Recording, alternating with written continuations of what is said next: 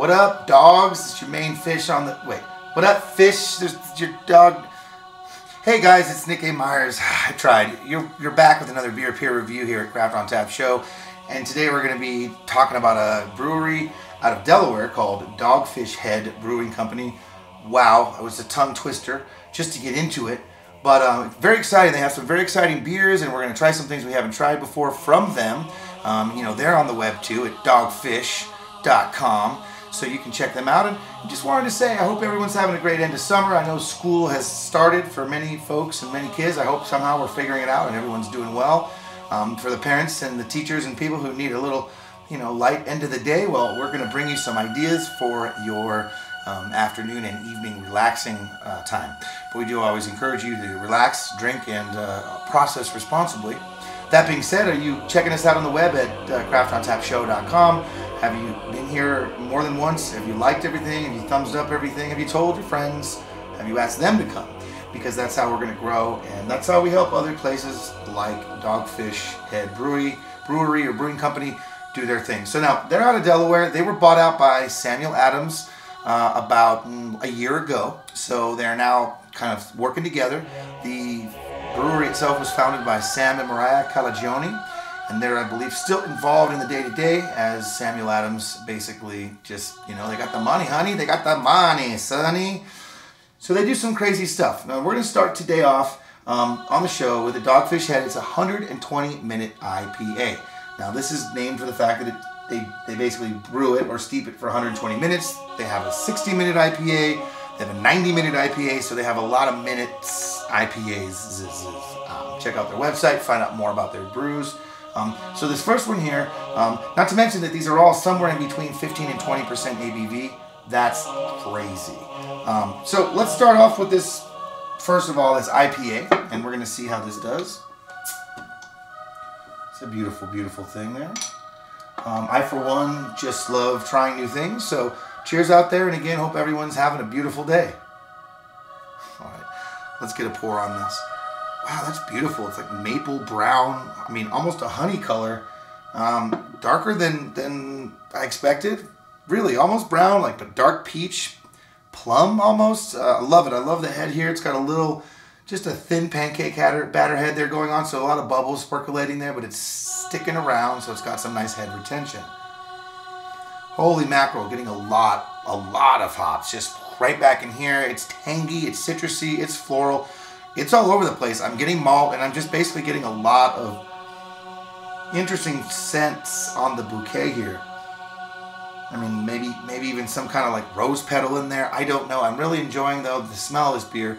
It's still working its way around. Why don't we give it a try? It's very complex, so. Yes, that is very unique. I mean, it's right now at this point hitting me almost like a cider. And then the spice hits the side of my, my tongue there, a little bit of clove or something just spicy, maybe some anise. All I know is that this beer is absolutely full of character. Look at, look at all those characters. oh God, you should see what these characters are. There's so many characters in here. You guys. Uh, but in all sincerity, uh, this is, I mean, it's a very robust beer. Again, sweet down here, and then it kind of punches you in the middle, and then it gets tangy. And then it gets a little bitter, and then it gets spicy. I mean, it definitely has a nice, interesting succession, the way that it moves through its its build. Wow, dogfish head. That's very, it's very dogfish head of you. Um, additionally, folks, we have content that come out every Tuesday, Friday. We're working on some new things. We've got some great things in the bag here, and, and one day we will we will get to it for you. With beers like this, I really do like to cleanse the palate because they can just, and this one's still kind of hanging out. Yeah, but the 120 minute IPA, and I don't know, I'm I'm more preferable to like a 132 minute IPA, but you can't always get what you want, right? I mean, life's just not.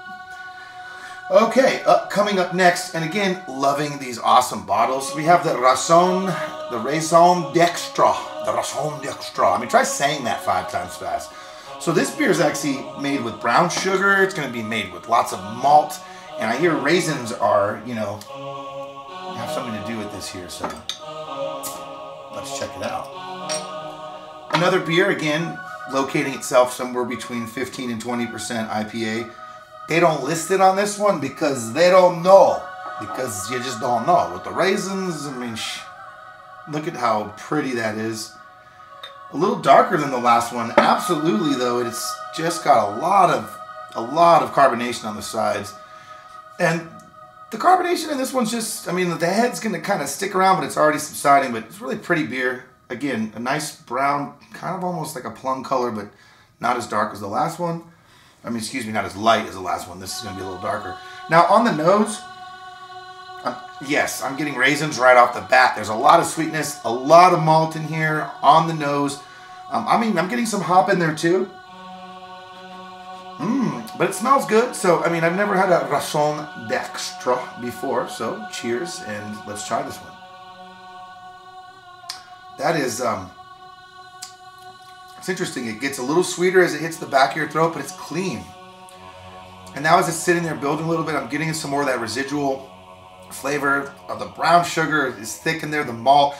It tastes a little bready to me, you know, like, you know, I can, in my dreams, I'm seeing Bready Krueger, like, he's gonna, anyway, this, this is good, this is really good though. This has sweetness up front and sweetness on the end that are different sweetnesses. So if that makes any sense to you, as it's moving across the palate, you're gonna kind of get some variations and variety. Wow. But yeah, this, this has a light flavoring and it's actually, I don't know, it's, it's refreshing. It's more refreshing, and it, and it has a juicy finish like the last one. I mean, these aren't sweet beers, but they just, there's something about it that reminds me of juicy, you know, like Biggie Small, like, juicy. That was that, that one didn't land with most of our demographic. So we're going to move on to the last beer of the day, which I'm very excited about. It's a Worldwide Stout.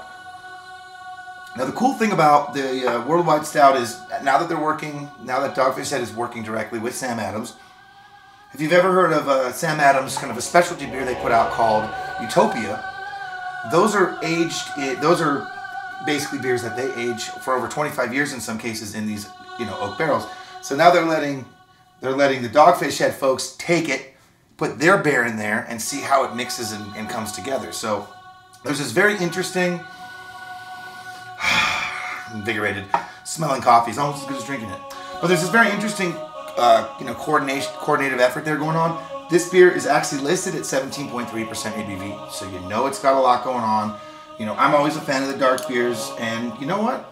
Worldwide. I mean, this thing is worldwide. We got to try it because you know stouts are very stouty. Alrighty, folks. The worldwide stout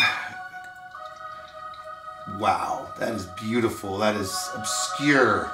It is like it's like an art school, art major, like some New York school of art. You know, it's very dark. It's very brooding.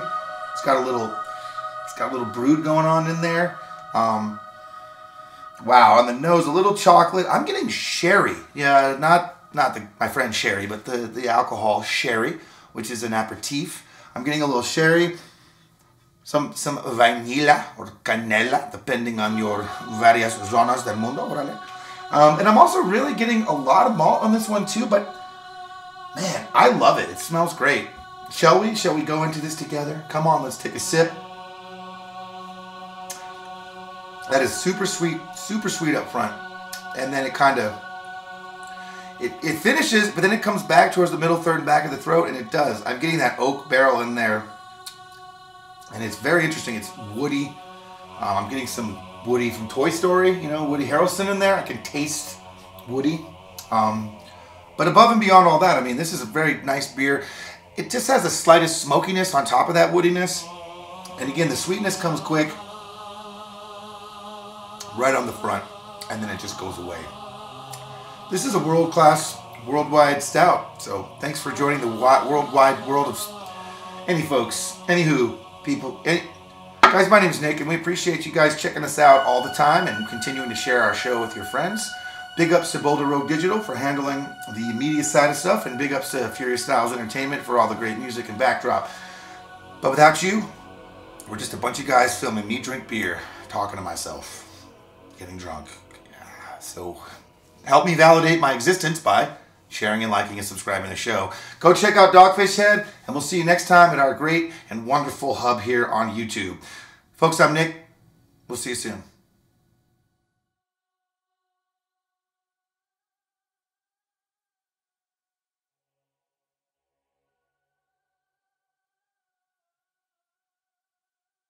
Sit, Doc, sit. Good dog.